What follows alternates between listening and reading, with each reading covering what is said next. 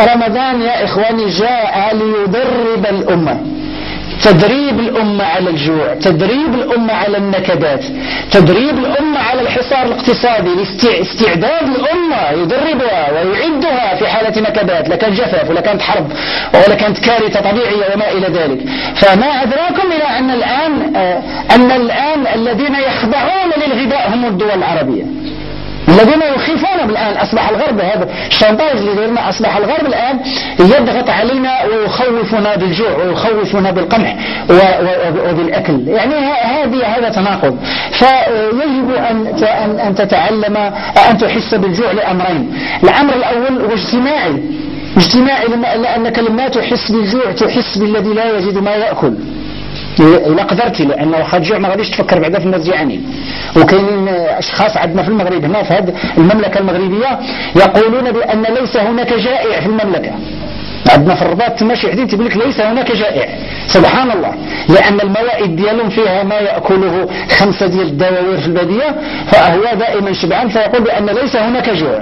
فقلت له يعني مشي للأوروبية وشوف أن الناس لا يجدون يعني الناس ينامون على الأرض ولا يجدون الغطاء ولا يجدون ما يأكلون ولكن كاين تعفف وكاين صبر وهذه الأمة هذه صابرة ولكن الصبر هو كما نقول ليس يعني ربنا لا تحملنا ما لا طاقة لنا به. شحال غادي نبقى صابرين هاد الناس؟ يعني كثير. فأعود لأقول بأن هذا الإحساس بالجوع والعطش. يجب أن تحس بالجوع لتحس بأخيك الجائع.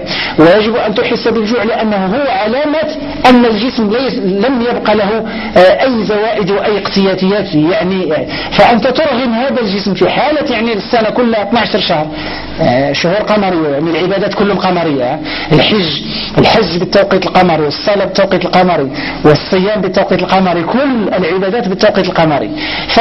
فهذه 12 شهر كل هذه السنة أنت تأكل 11 شهرا لا تفكر في الصيام أنت لست مرغم عن الصيام. إنما تطوع وزهد يعني ربما تطوع وعبادة ربما تصوم بعض الأيام ولكن لست مجبر على الصيام فيما عدا رمضان.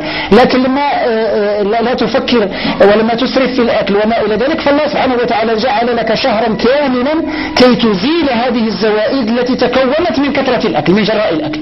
ف هناك زوائد هناك شحوم يعني تتراكم في الجسم وهناك توكسينات تسممات الجسم يتسمم. فأثناء شهر رمضان سنرى كيف أن الجسم يتخلص من هذه الأشياء؟ ولكن إذا لم تحس بالجوع فأنا أزيد أؤكد عليكم إذا لم تحسوا بالجوع في رمضان فإنكم لا تستفيدون. فيجب أن تحسوا بالجوع والعطش الشديدين. يعني يعني الجسم خصكم يعني تضعوه تحت التجربة يعني تحت ال ال ال يعني هذه الظروف قاسية لتعرفوا أن هذا الجسم وحتى الجسم يتعلم كيف يعني يتكيف وكيف يتبرمج من جديد على هذه يعني الحالة ديال الجوع.